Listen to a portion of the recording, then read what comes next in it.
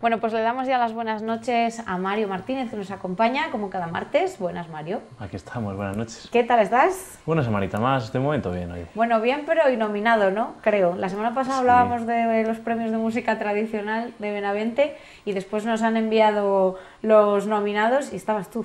Sí, allí como joven valor me toca representar a la provincia de Zamora y junto con Santarém y Bajo Duero como premios trayectoria pues ahí estamos a ver qué, qué va sucediendo. A ver qué pasa, ¿no? Eh, también en estos premios, que el otro día además no lo dijimos, eh, cogen todo lo que era el antiguo Reino de León, ¿no? Sí, así están centrados en lo que son las provincias de Zamora, Salamanca y León y bueno, pues eh, pretenden potenciar a los músicos o grupos pues de, de esta zona. Que seguro que mucha gente bueno pensaba, si no soy de Zamora no puedo participar o no puedo estar nominado, pues sí, de León y de Salamanca también. bueno, Mario, pues a ver si tienes suerte, ¿eh? Poco a poco. bueno, ¿de qué vamos a hablar hoy? Pues hoy hemos querido que nos acompañe el Museo Etnográfico para un proyecto que ya lleva este su cuarto año, que es el escenario abierto que pretende acercar a distintos grupos, eh, siempre relacionados con la música de folclore, pues aquí a Zamora para que podamos disfrutarlos y podamos ver esas otras propuestas que hay desde distintos sitios, no solo de la península, sino también desde fuera de ella. Bueno, nos acompaña Ruth Domínguez. Buenas, Ruth, ¿qué tal? Hola, ¿qué tal? Muy bien. Bueno, te tenemos aquí de nuevo con otra cosa, ¿no? Encantada.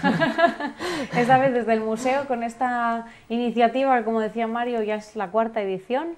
Eh, ¿cómo, ¿cómo, surge hace cuatro años y qué es lo que habéis eh, ido viendo en, estos, en estas ediciones para llegar bueno, pues a la cuarta, al cuarto año, repetir y además hacerlo con unos cuantos grupos?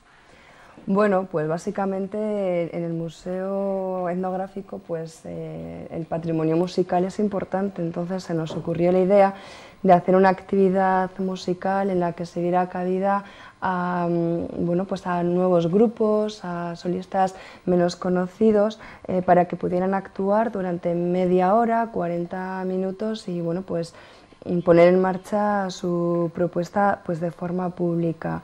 Y lo hicimos como un proyecto, bueno, pues a ver cómo sale y, con mucha ilusión, pues como hacemos todo, con la fortuna de, que fue un éxito, mm, de público sobre todo, porque eh, se pasaron del orden de 400 personas por el museo en dos días, muchísimas eh, eh, solicitudes para participar en el escenario abierto. Y bueno, esa primera edición dio pie a que realizáramos el, resto de año eh, pues repetición de esta actividad musical que llamamos escenario abierto y que el año pasado eh, pues por problemas presupuestarios no pudimos hacer. Bueno, pues nos alegramos de que se recupere, ¿eh? que ese impasse de un año no haya detenido la marcha de este escenario abierto. Decías que mucha solicitud, mucha gente que pasó por el museo en esa primera edición, pero también muchas solicitudes por parte de los grupos. ¿Cómo, ¿cómo gestionáis esto? ¿Cómo se hace? ¿Recibís esas solicitudes? ¿Os ponéis vosotros en contacto con algunos grupos? ¿Cómo lo hacéis? No, es una convocatoria mm, pues, pública y abierta. Se lanza desde el museo a través de diferentes medios de comunicación. Por supuesto, ahora que tenemos las redes sociales, hacemos uso de ellas, que son la bomba, la verdad, porque llegan a, a, a totalmente diferentes. Y mm, son ellos, son los grupos y los solistas los que realmente se, se, apuntan, se inscriben mediante llamada telefónica o el envío de un correo electrónico, se toman los datos y evidentemente pues se pide material para poder después hacer, hacer una selección porque son muchos los que lo solicitan, pero después eh, tenemos que hacer pues una criba. ¿Cuántos grupos, por ejemplo, este año han presentado su solicitud para después quedarse en, si no recuerdo mal, son cuatro y tres, siete, siete, grupos? Pues este año solo son siete, mm, pues por motivos económicos, pero otros años han sido pues del orden de ocho, diez eh, grupos por día. Eh, ha habido más de 20 solicitudes, creo recordar. Y lo curioso ha sido que, la, mayor parte de estas solicitudes han venido de fuera de Castilla y León. Ha sido, sí, ha sido el año de más afluencia en, otras comunidades. Así que gusta, ¿no? Por lo menos fuera de Castilla y León parece que esta iniciativa se acoge con buen pie. A lo mejor los de Castilla y León van a tener que mandar solicitudes dentro de poco fuera, ¿no? Ojalá. No, espero que los de Castilla y León el año que viene, si se vuelve a hacer, soliciten, claro que sí. Estén todos aquí. Bueno, eh, tenemos dos días por delante, el día viernes 15 eh, de marzo, este viernes 15 de marzo y el sábado 16 de marzo. Esos dos días, como habéis hecho en otras ediciones también, repartidos en, eh, en dos días, empezando ese fin de semana mm. y los grupos igual, en esta ocasión tres y cuatro grupos, tres el viernes, cuatro el sábado. Mm, no sé si hay una característica común a los grupos de este año o cada uno, como vamos a ir viendo, es eh, muy, muy diferente, muy distinto en su Hay variedad. Hay variedad. Hay variedad. Pero siempre eh, hacemos, todas las, en todas las ediciones hemos hecho lo mismo, que es empezar con un grupo zamorano, que es quien abre el escenario abierto y en este año aquí el compañero Mario tiene mucho que decir. A ver, ¿con quién vamos a empezar el escenario abierto este viernes 15 de marzo, Mario? Pues tenemos con la Asociación Cultural La Nota, esta, esta agrupación que ya tuvimos la oportunidad de conocer al principio de, la sección, eh, y que va a acercar pues, bueno, un poco lo que es eh, la combinación de los distintos instrumentos tradicionales y de las distintas formas musicales adaptadas. Es decir, eh, vamos, a, vamos a intentar el que los instrumentos tradicionales den juego para otros estilos musicales, la la flauta, la gaita, las percusiones, o bien eh, pues que otros estilos musicales se incorporen estos instrumentos, o bien, como habíamos dicho, que sean las canciones tradicionales las que beban de, esos, de esas otras formas, de esos otros arreglos y poder tocar una canción perfectamente reconocible pues con arreglos que tengan influencias de jazz o influencias de música clásica y con arreglos para piano, para violín. Bueno, la verdad es que va a ser una mixtura un poco de, de tanto de instrumentos tradicionales como música no tradicional y que bueno, por supuesto la gente conocida del folclore y quizá no tan conocida van a reconocer muchas de las, de las melodías que vamos a desarrollar ese día. Melodía, reconocerlas sí, pero, pero eso, de otra manera, ¿no? De, una manera, que no las habían escuchado nunca. Esperemos. Esperemos. pues sí, sí, seguro que sí. ¿Cómo hacéis esto, Mario? ¿Cómo, ¿Quién es el que hace esos arreglos o cómo elegís qué, ritmos o qué cosas meterle a eso tradicional? recuperar algo del jazz, de otro tipo de música para introducirlo en esas canciones que conocemos? Pues por suerte es cierto que hay eh, mucha gente que ya se ha lanzado a hacer arreglos o incluso componer para estos instrumentos tradicionales. Entonces vamos a usar algunas de esas fuentes, van a ver eh, una suite o una, una canción perfectamente de lo que puede ser música clásica, un arreglo de, para tres dulzainas, pero eh, con instrumentos tradicionales. ¿no? O bien eh, hay gente también que ha hecho cogido las canciones tradicionales como puede ser el bolero, como puede ser los toritos, etcétera, y les ha incorporado pues varias voces con armonías eh, ya más elaboradas que lo que puede ser la parte más, más sencilla. Y eso es un poco lo que hemos, hemos querido hacer, el, bueno, pues el, el ver cómo podemos combinar distintos instrumentos y sacarle el máximo partido eh, sonoro y armónico de, esa conjunción de, varios instrumentos. Y el proceso, pues bueno, siempre es eh, analizar esas partituras o ver qué canciones le podemos sacar más jugo y cómo ir instrumentándolas poco a poco para que podamos eh, desarrollar toda esa sonoridad que, bueno, esperemos que en el museo sean capaces de, disfrutar. ¿Lo hacéis entre todos entonces?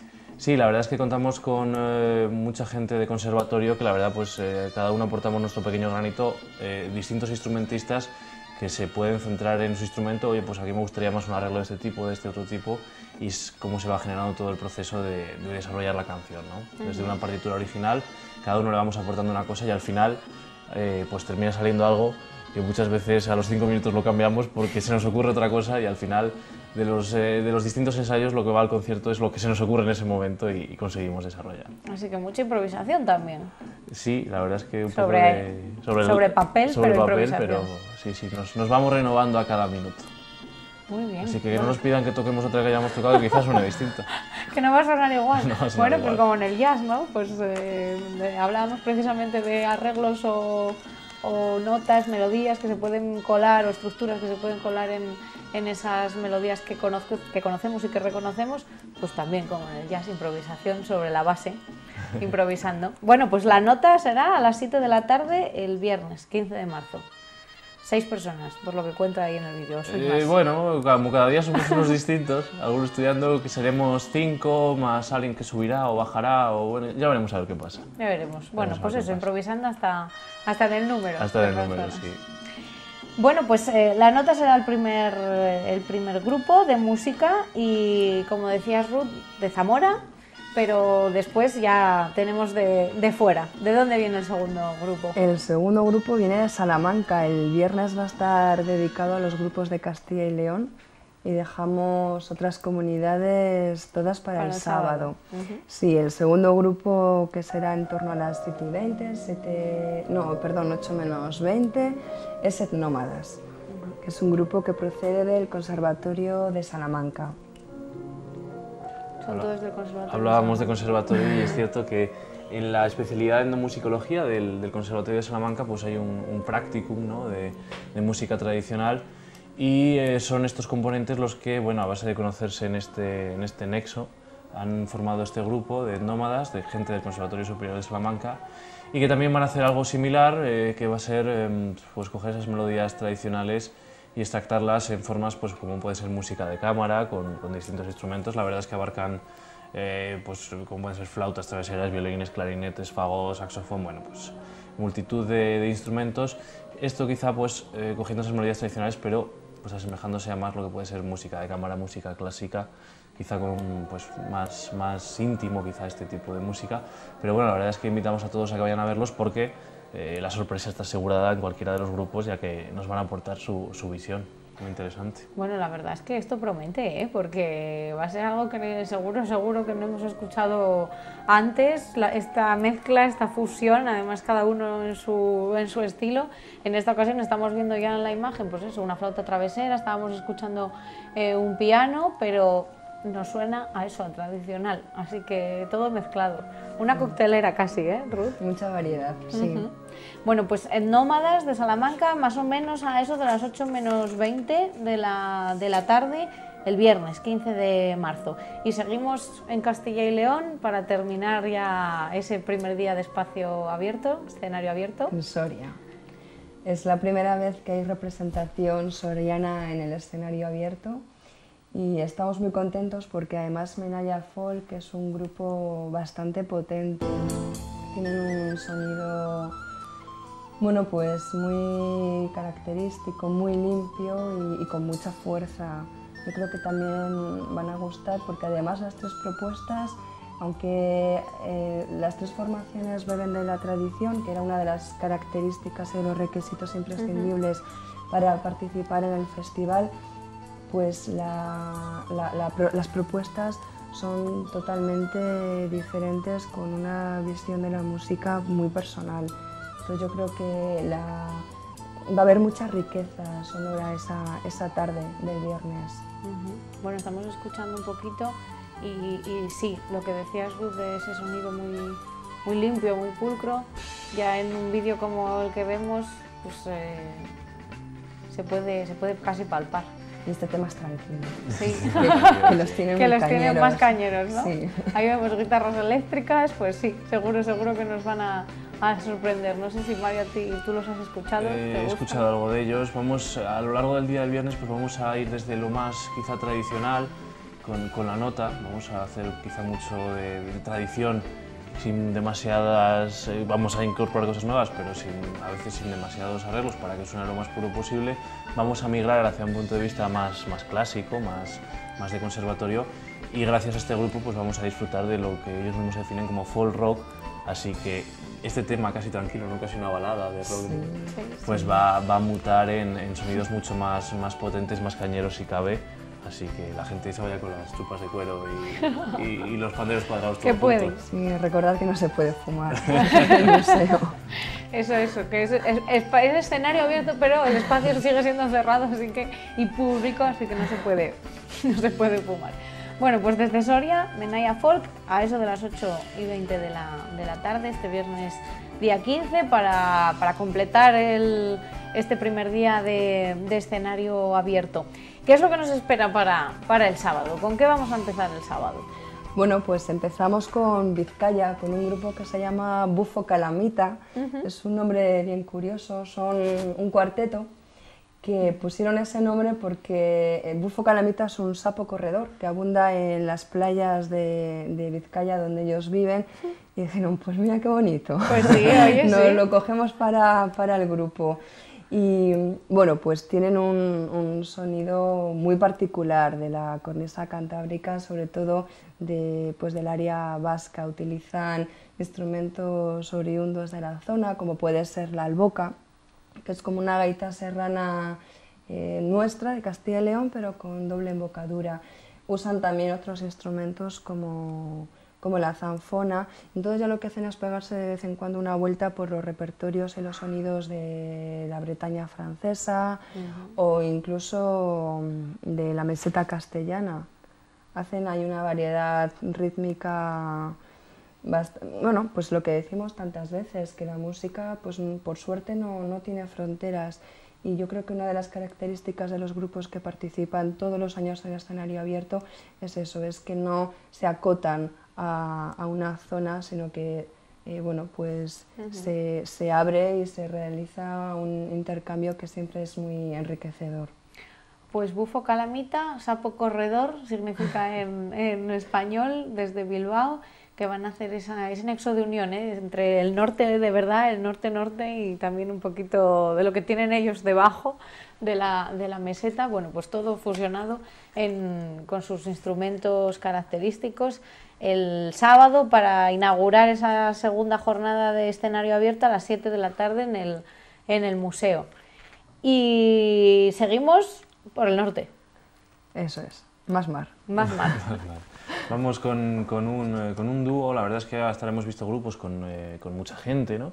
Y lo que podemos observar ahora es cómo dos pandereteras van a hacernos eh, pues removernos en nuestras sillas y disfrutar eh, llevan mucho tiempo colaborando juntas y una de las cosas que han querido hacer Solchu y Miriam pues, ha sido eh, recoger, transmitir y conservar ese acervo de la panderetera cántabra, de las mujeres de Cantabria, pues que bueno, que muchas veces una sola panderetera era capaz de hacer el baile en un pueblo y con muchos distintos toques, ya que Cantabria es una, una provincia que tiene, eh, una comunidad que tiene muchas, eh, muchos toques, muchas formas de pandereta y que vamos a poder observar algunas de ellas en, este, en, esta, en esta actuación. ¿no?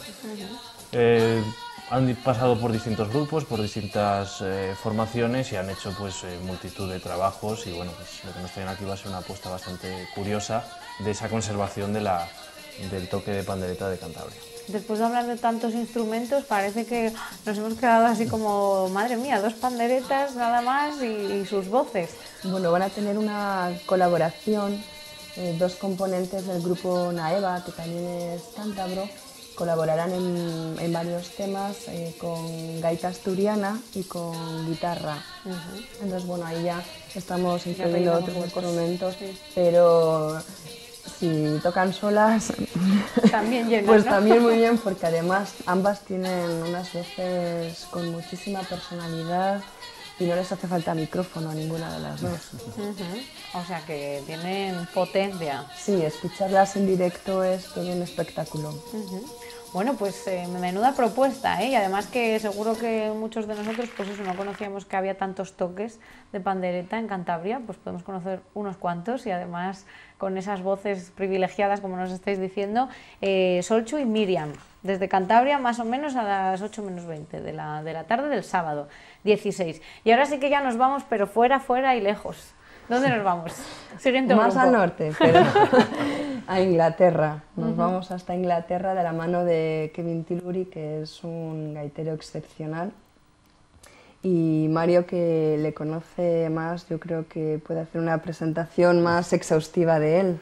Pues la verdad es que Kevin Tilbury estuvo ahí, estamos viendo por ejemplo un vídeo de lo que era una apertura del curso de la Escuela de Folclore, del Consorcio de Fomento Musical, y la verdad es que nos, nos, sorprendió a todos lo que decimos, ¿no? De repente de pasar de mucha gente a como una sola persona fue capaz de sobrecogernos a todos por acercarnos a esos sonidos que teníamos quizá menos asociados. Es cierto que decimos, bueno, pues gaitas irlandesas o gaitas de Northumbria, etcétera, y no vemos gaitas como por ejemplo la que él nos trajo y nos pudo explicar pues con distintos roncones, con distintas formas de tocar y va a ser lo que él nos va a traer. Él ya muchísimo tiempo, tanto tocando la gaita desde el año 87 como haciendo trabajo de recopilación, no solo de gaitas inglesas, las Northumbrian Pipes o las Border Pipes, sino también eh, distintos tipos de gaitas y él ha tenido la oportunidad, tanto en, América como que ha estado allí, en Estados Unidos, como por la parte de Lituania, Bielorrusia, República Checa, pues hacer un poco un, trabajo de investigación de lo que son todo este tipo de, gaitas y qué correlación había entre, entre ellas.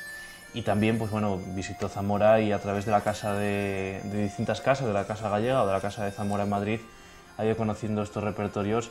Y, por ejemplo, pues es curioso, eh, en, uno, en, un trabajo de, de la Casa de, Zamora en Madrid, a través de un grupo de gaitas, pues está eh, Where Do You Go Adelaida, que es donde vas Adelaida, tocada pues con una gaita de Northumbria y la verdad es que bueno, nos va a traer pues esos sonidos más, esos sí que más ser sonidos muy íntimos, muy, muy, muy cercanos, muy de la quizá de la, de la hoguera de casa, ¿no? de la chimenea, pero nos van a sorprender a todos con, con distintos tipos de gaitas y con distintas formas de tocar que bueno, pues nos van a resultar, a los que conocemos la gaita zamorana, pues cuanto menos curiosas. Pues sí, ya estamos escuchando sonido diferente, pero nos estáis diciendo que sonidos muy, muy cercanos nos van a sonar diferentes también y que además que el solo que, que, se nos ponen los pelos de punta, ¿no? Por lo que nos dices, Mario. Pues sí, la verdad es que nos, que el solo sorprende, vamos. Nos hizo disfrutar mucho nos hizo disfrutar mucho y lo va a repetir, por supuesto, aquí en el, pues seguro, en el Seguro que sí. Pues a las 8 y 20, no se lo pierdan, Kevin Tilbury desde Inglaterra con todo ese esa amalgama de conocimientos que tiene y que además supongo que irá aplicando también al repertorio que va ofreciendo, pues eh, con mezclas de, de todo tipo, desde el instrumento hasta hasta los sonidos que va recogiendo desde Estados Unidos hasta Centro Europa, pues madre mía, ¿eh? menudo lujo el poder escucharle. Y para terminar, eso será sobre las 8 y 20 del sábado, para terminar nos vamos al Mediterráneo. Sí, cambiamos de mar. Sí, nos vamos de una zona a otra. Nos vamos al cálido Mediterráneo de la mano de Sitja, que es un sexteto, tres hombres y tres mujeres que ya tienen una larga trayectoria, proceden de Castellón y bueno, llevan haciendo durante mucho tiempo mm, trabajo de campo, recopilación de, los repertorios musicales eh, levantinos, sobre todo de la comunidad valenciana, y les dan bueno, pues unos toques muy particulares con instrumentos más complejos como puede ser la batería y con mezcla de, otros estilos, eh, pues la, música indie por ejemplo, es, una, es un sonido el que consiguen bastante particular, incluso bueno, pues también su estética, ¿no? así como con un toque vintage, se sale también de los cánones convencionales aplicados al, al folclore. Y, bueno, la verdad es que contar con, con, este grupo para cerrar el escenario pues es, es todo un, un lujo ya quisimos tenerlos en la edición del año pasado, pero como finalmente no se pudo hacer, pues... Quedaron ahí en la recámara. Quedaron, sí, sí, totalmente en la recámara y dijimos, pues este año ya no pasa. este año los traemos desde, desde Castellón. No sé si Mario les has escuchado, te gustan, quieres señalar algo de su música. Pues la verdad es que, como su propia descripción reza, es un grupo que se creó en el 2002 para el Centro de Estudios Tradicionales eh, basado en la recopilación, pero también en la experimentación con estas músicas tradicionales. Y han pasado por diversas etapas, más, eh, más quizá dedicadas a la tradición pura y dura, como pueden ser eh, también épocas pues, con nuevas tendencias. Y en esta última época, pues, buscan un poco influencias del pop o del indie, que hacen también que, dando toda esa vuelta que han dado, también se vuelvan a reencontrar con el folclore y la verdad es que vamos a poder disfrutar de todas estas pequeñas cosas que han ido aprendiendo a lo largo de los años, de sus distintas formas de tocar y nos van a traer pues, bueno, una música también cuanto menos curiosa. Bueno chicos, pues madre mía, ¿eh? no dirán que no tenemos propuestas diferentes en Zamora para este viernes y este sábado, 15 y 16. El día 15 empezamos con Zamora y seguimos con Castilla y León y el día 16 tenemos mucho norte, pero también desde Inglaterra visita y Mediterráneo, así que un poquito de todo. Rudy y Mario, muchas gracias por venir y que sea un éxito como todos los años. Entrada libre, que no lo hemos dicho, al escenario abierto en Castilla y León, a eso de las siete y media comenzamos, a, las 7, perdón, a las 7, a las 7 y tenemos todos estos conciertos con entrada libre, muy importante. Chicos, gracias por venir. A vosotros. Y que lo disfrutéis, ¿vale? Gracias. Señores, nosotros les invitamos a que se pasen viernes y sábado a partir de las 7 por el Museo Etnográfico y nosotros continuamos.